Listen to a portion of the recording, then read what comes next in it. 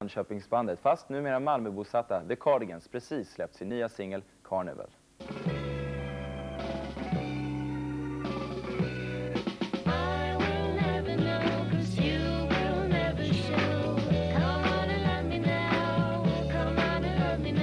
Det är helt enkelt en kärlekshistoria. Sen så har vi väl gjort refräng ganska mycket för lite så här extra corny kanske.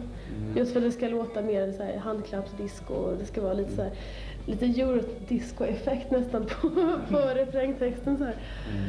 Så nej men det är, det är en liten kärlekshistoria.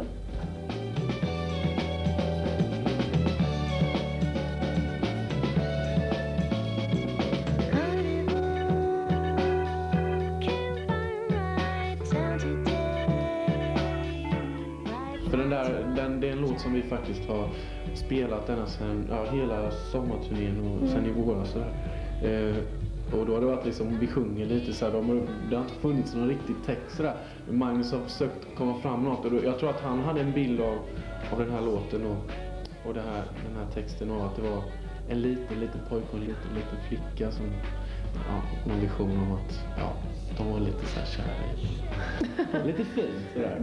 Eh, Och, eh, och så var det då någon, eh, ja, någon så här tivoli-känsla i också då liksom i, i själva låten. Och Den här liksom tivoli-orgeln som ligger här och det här genom låten. Och, så då, ja, det var väl den bilden han hade. Så det är inget, det är inget djupare än så i alla fall.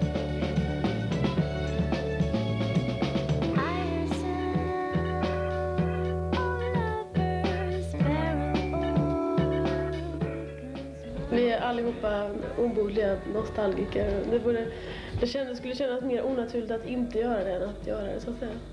Det känns inte, någon sa att vi gör nostalgi för nostalgins skull men det, det vore att köra över oss själva, våra egna ideal ifall vi inte skulle göra det på något vis.